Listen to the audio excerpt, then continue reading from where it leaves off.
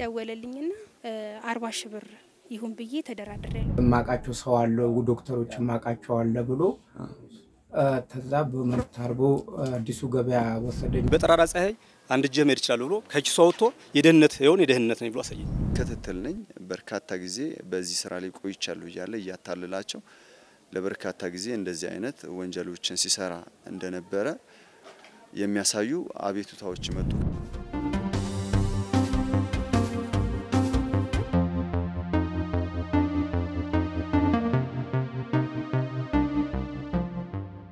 አንዳንድ ሰዎች በትክክለኛው መንገድ ሰርተው ሀብት ለማፍራት ጥረት ከማድረግ ይልቅ በአቋራጭ ለመክበር በራሳቸው ላይ እንዲደረግ የማይፈልጉትን የማታለል ወንጀል በሌሎች ላይ ሲፈጽሙ ይስተዋላል። ከሚፈጸሙ የማታለል ወንጀሎች መካከል እንደ ማሳያ የመረጥነው በጉለሌ ክፍለ ከተማ እየተዘዋወረ አንድ ጊዜ ፖሊስ ነኝ፣ ሌላ ጊዜ ደግሞ ደህንነት ነኝ እንዲሁም ሐኪም ነኝ በማለት ከተለያዩ ግለሰቦች ጉዳይ አስፈጽምላችኋለሁ እያለ 277 ሺህ ብር ተቀብሎ ሲሰወር የነበረውን ግለሰብ የምርመራ መዝገብ መነሻ አድርገን የግል ተበዳዮችንና ፖሊስን በማነጋገር ሰዎች ለማጭበርበር ወንጀል ሰለባ እንዳይሆኑ ጠቃሚ ሀሳቦችን ይዘን ቀርበናል።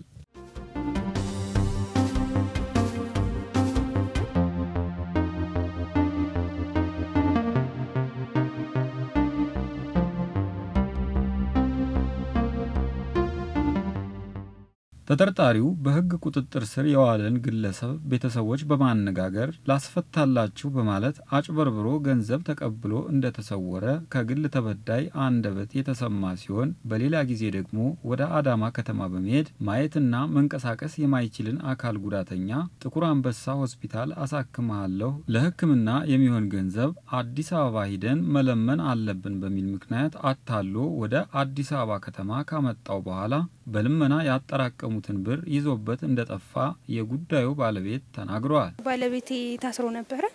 ደወለልኝ። ጓደኞቹ ናቸው የቅርብ ጓደኞቹ። ደወለልኝና ሁለት ፖሊስ ሁለት ክትትሎች አሉ፣ ሀምሳ ሺ ብር ተነጋግሬ ያለሁ። ስለዚህ ሀምሳ ሺ ብር ልጁ ኬት ያመጣል? አርባ ሺ ብር ይሁን ብዬ ተደራድሬ ያለሁ ና አርባ ሺ ብር ብለዋል ምናምን አለኝ። ቆይ እስቲ አሁን አርባ ሺ ብር ቆይ እስቲ ብዬ ያልኩት አሁን መልሶ ድጋሚ ደወለ። እኔም በቃ ህግ እንዳረገ ያርገው ብዬ እኔም ተውኩትኝ ማለት ነው።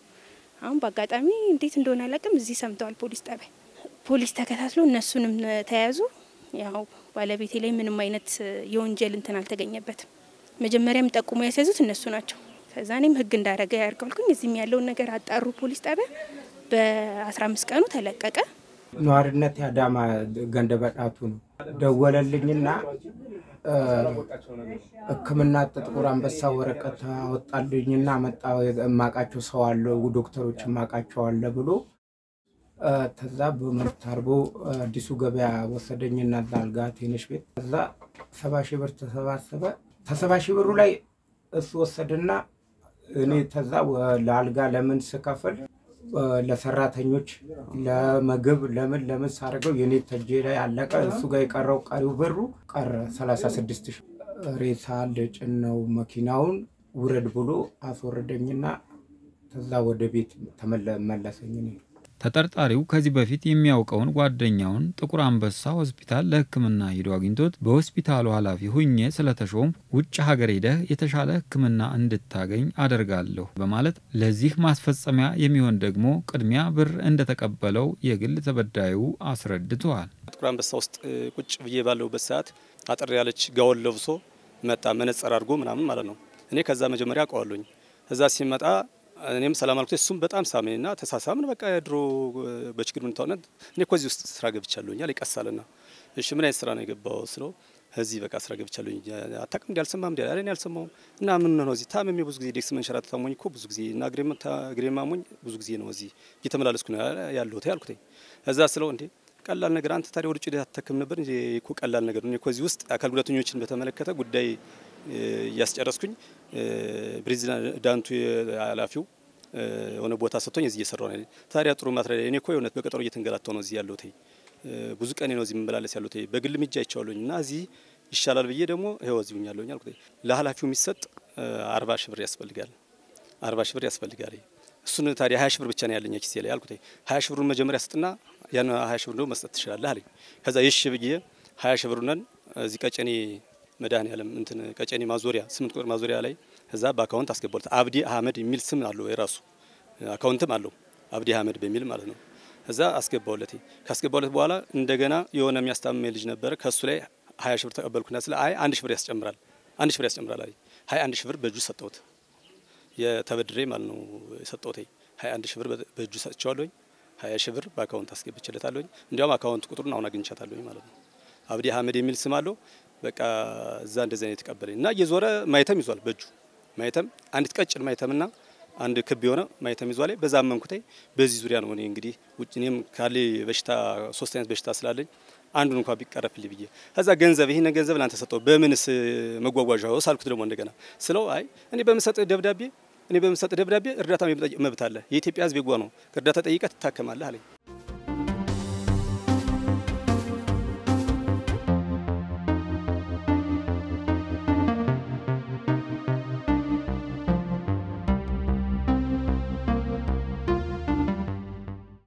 ይህ ግለሰብ የለመደውን የማጭበርበሪያ ዘዴ ተጠቅሞ ብሩን ተቀብሎ ተሰውሮ ቢቆይም በሌላ ወንጀል ተጠርጥሮ በፖሊስ ተይዞ ሲያዩት ወዲያውኑ ጉዳያቸውን ለፖሊስ ማሳወቃቸውን እኒሁ የግል ተበዳይ ይገልጻሉ።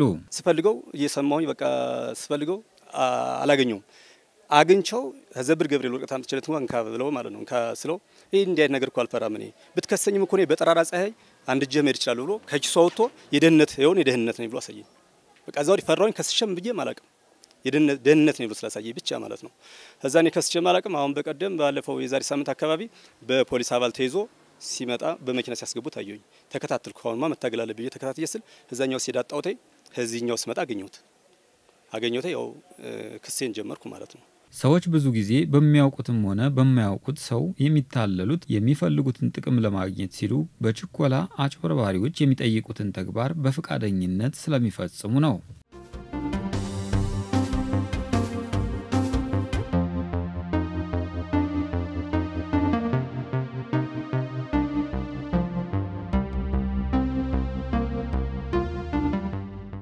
ሰዎችን በማጭበርበር ኪሱን ለማደለብ የሚሯሯጠው ይህ ተጠርጣሪ በሕገወጥ ጦር መሳሪያ የተጠረጠረን ግለሰብ ቤተሰቦች በማነጋገር የፖሊስና የደህንነት አባል ነኝ በማለት አታሎ 160 ሺህ ብር የተቀበለው ሲሆን ፖሊስ ተከታትሎ በቁጥጥር ስር በመዋል ተገቢውን ምርመራ በማጣራት በአንደኛው መዝገብ ላይ ክስ የተመሰረተበት ሲሆን በቀሪ ሶስት መዝገቦች ላይ ምርመራ እየተጣራበት መሆኑን የጉለሌ ክፍለ ከተማ ፖሊስ መምሪያ የወንጀል መርማሪ ምክትል ሳጅን ቶሎሳ ግርማ አስረድተዋል። ባለቤትሽን እናስፈታልሻለን በማለት አርባ ሺህ ብር ጠይቀውኝ እኔም ብር ሰዓቱ ስለሌለኝ አባቴ አቶ ንጉሱን ጠይቄው አርባ ሺህ ብሩን ተቀብዬ ለነሱ ሰጥቻቸው ነበረ። ስለዚህ እሱም እስካሁን አልተፈታልኝም ምን ይሻለኛል በማለት አቤቱታውን እዛ ወደ እኛ ጋር ቀረበች። አቤቱታውን ተቀብለን ምርመራ ማጣራት ስራችንን ጀመርን ማለት ነው። ይህን የምርመራ መዝገብ ለማስወሰን በሂደት ላይ እያለን ባለንበት ሁኔታ ሌሎች የግል ተበዳዮች እኛ ጋር መጡ ማለት ነው። ተደጋጋሚ ጊዜ አሁን እንደቀረበበት አይነት በርካታ የማታለል ወንጀል እንደሚሰራ ይህንንም የወንጀል ሲፈጽም እኔ የፖሊስ አባል እንደሆን ከፖሊስ ደብዳቤ ሰጥቶኛል። እኔ እንደ ክትትል ነኝ። በርካታ ጊዜ በዚህ ስራ ላይ ቆይቻለሁ እያለ እያታለላቸው ለበርካታ ጊዜ እንደዚህ አይነት ወንጀሎችን ሲሰራ እንደነበረ የሚያሳዩ አቤቱታዎች መጡ። ከዚህ መካከል ላይ አንድ አቶ ገድሉ ይርሳው የሚባሉ እኛ ጋር ቀርበው ቃል ሰጥተው የምርመራ መዝገብ አሁኑ በሂደት ላይ ያለበት ያሉት ጥቁር አንበሳ ሆስፒታል ላይ ትታከማለ፣ አካል ጉዳተኛ መሆን አይቻለሁ። ፕሬዚዳንቱ ደግሞ እዚህ እኔን የቀጠሩኝ እንዳንተ አይነቱን አካል ጉዳተኞችን እንድረዳ ነው። ለዚህም ግን 41 ሺህ ብር ያስፈልጋል በሚል ብር ይቀበላቸውና ከአካባቢው ላይ የተሰወረ መሆኑን በወይዘሮ ማርታ ንጉሴ መዝገብ ላይ ሲያዝ አይተው ቀርበው አቤቱታቸውን ያቀረቡ መሆኑን ገለጹልን። ከዚህ ውጭ ግን አራተኛ የምርመራ መዝገብ የሚሆነን ናዝሪት ከተማ ላይ እንደሚገኝ አካል ጉዳተኛ ልክ አንድ አቶ ገድሉ 36 ሺህ ብር የተቀበለው እንዳለ ጠቆመው ደርሶን በአጠቃላይ እኛ ጋር አራት የምርመራ መዝገብ ነው ያላቸው። አንዱ ላይ ያው እንደገለጽኩት ከፍተኛ ፍርድ ቤት ላይ በመከታተል ላይ የሚገኙ ሲሆን ሌሎቹ የምርመራ መዝገቦች ጅምር ናቸው። አሁን የወይዘሮ ማርታ ወይም መጀመሪያ ባለቤቷ ታስሮ የነበረው የግል ተበዳይ በቀረበችበት የምርመራ መዝገብ ላይ ሁለቱም ፈጣን ችሎት አርቲዲ ከፍተኛ ፍርድ ቤት ላይ ተከፍቶባቸው በመከታተል ላይ ነው ያሉት። ሌሎች ግን አሁን ጅምር ምርመራ መዝገቦች እኛ ጋር ሁለት የቀረቡ አሉ። እሱን ማስረጃ በማፈላለግ ላይ ነው ያለ ነው። አንዳንድ የህብረተሰብ ክፍሎች በተሳሳተ መንገድ ራሳቸውን ለመጥቀም ሰዎች በቀላሉ እንዲያምኗቸው ልዩ ልዩ የማታለያ ምክንያቶችን ያቀርባሉ። ታዲያ ሰዎችም ያለምንም ማረጋገጫ የተባሉትን አምነው በመቀበል ገንዘባቸውን አሳልፈው በመስጠት አግባብነት የሌለው ተግባር ይፈጽማሉ። አዎ በእርግጥ እኔ ከመጀመሪያም ስለማውቀው ነው የፊቱ ሃይማኖቱ ያለ መስሎ ነው እንጂ ብዙ አሳልፈናል። የሆነ የአምሳ ሳንቲም ቤት እየተኛን በችግር አሳልፈናል። ያን ብዬ እንጂ እኔ እኔ ያን ብዬ ነው እንጂ እሱ እንዲወስድብኝም ወይም ደግሞ እሱ እንትን እንዲል ፈቅጄ አይደለም። ግን እምነት ጣልኩበት። ያው መታወቅ የሚባል አለ እረዳለሁ። የበለጠ እንዲረዳኝ ነው የፈለግኩት የነበር እኔ የበለጠ እኔ እንኳን ይህን ሀያ ሺህ ብር ሰጥቼ አርባ ሺህ ብር ደግሞ አርባ አንድ ሺህ ብር ጨምሬልህ እንኳን በምን እሳፈራለሁ ስል እሱ ከሜዲካሎች ደብዳቤ ይወጣል እርዳታ መሰብሰብ ትችላለህ ስላለኝ ብቻ ነው የተሸወድኩት። ከህግ ውጭ ይሆናል ብዬ አላሰብኩም ግን አንደኛ የጓደኞቹ ናቸው። በጣም የቅርብ ጓደኞቹ ናቸው። በጣም ማለት ነው። እንዲህ ላዳር ነው የሚለያዩት። እንግዲህ እኔ እንደዚህ አይነት ነገር ያደርጋሉን ብዬ አላሰብኩም። ብር ይዛ መጣች ከአባቷ ጋር ሆኖ እኔ ያለው እንደገና ደግሞ አንድ ሌላ ሰው አለ። እሱን ደወልንለት። እዚህ እዚህ ቦታ ነው አለን። ወረዳ ስምንት እዛ ቀጠረን። ሄርንና አርባ ሺህ ብሩን ተቀበለን። እሱ ይሄ ትክክል አይደለም። እኛም ባረግነው ነገር ተጸጽተናል። በጣም ዋናው ትልቁ ድክመት ያለው ፖሊስ ጋር ሳይቀርብ ሳይቀርቡ የግል ተበዳዮች ፖሊስ ጋር ሳይቀርቡ ልክ እነሱ የሚሏቸውን ብቻ ሰምተው በሩቁ እዛችሁ ደህንነት ነኝ ብሎ በሚነግራቸው ሰዓት ያምናሉ። ማህበረሰቡ በውሸት እስረኛ ላስፈታላችሁ፣ ውጭ ሀገር ላሳክምላችሁ በማለት ሊያጭበረብሩ የሚሞክሩ ወንጀል ፈጻሚዎች እንዳሉ ተገንዝቦ በራሱም ሆነ በንብረቱ ላይ ወንጀል እንዳይፈጸምበት ጥንቃቄ በማድረግ መሰል ወንጀል ፈጻሚዎች ሲያጋጥሙት ለሕግ አካል በፍጥነት ማሳወቅ ይገባል። መልካም ሰው መስሎት ነው የሚደረገው። ግን ይህን ነገር ማጣራት አለበት። ሰው እውነት ነው ወይ ቢሮ የት አለ ብሎ መጠየቅ አለበት። የተመርኩት ትምህርት ነው ከመሸጎዴ እዚህ ላይ ነው። የት አለ ቢሮህ የት አለ ቢያጅ ይዟል። በትክክለኛው እንግዲህ እሱ ራሱ ማየተው ስላለው ይሰራዋል እና ይህንን መጨበርበርም የለም። መድኃኒት ርካሽ ነው የሚሉ አሉ። እዛ ውጭ እኮ እንደዚህ መድኃኒት በነጻ ነው እዚህ በገንዘብ ለምን የሚሉ አሉ። ይህንንም መቀበል የለባቸውም ሰዎቹ ማለት ነው። በተለይ ደግሞ እግዚአብሔር ብሎ ደግሞ እንዲያው በዛው ቀጠሮን በዛ ምንም በዛ ቀጥታውን በዛው ቀጠሮን አክብሮ እዛው ቢታከም ይሻላል እንጂ በአቋራጭ ይታከማለሁ የሚለው ቢቀር ጥሩ ነው። ጥንቃቄ እንዲያደርጉ ነው ሰው የምፈልገው።